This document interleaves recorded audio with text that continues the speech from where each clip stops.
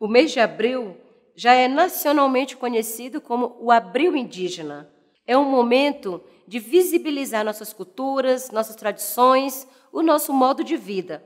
Mas é um momento também muito oportuno para denunciar o ataque aos nossos direitos, aos nossos territórios, aos retrocessos e às nossas lutas. No mês de abril, a tendência é sempre criar e reforçar estereótipos sobre os povos indígenas, nos tratando como os índios do passado e invisibilizando cada vez mais a realidade atual.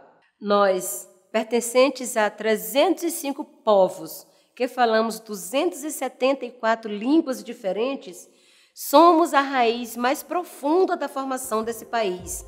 E ainda assim, temos que lutar todos os dias pelo direito de existir. Seja você também um apoiador da causa indígena.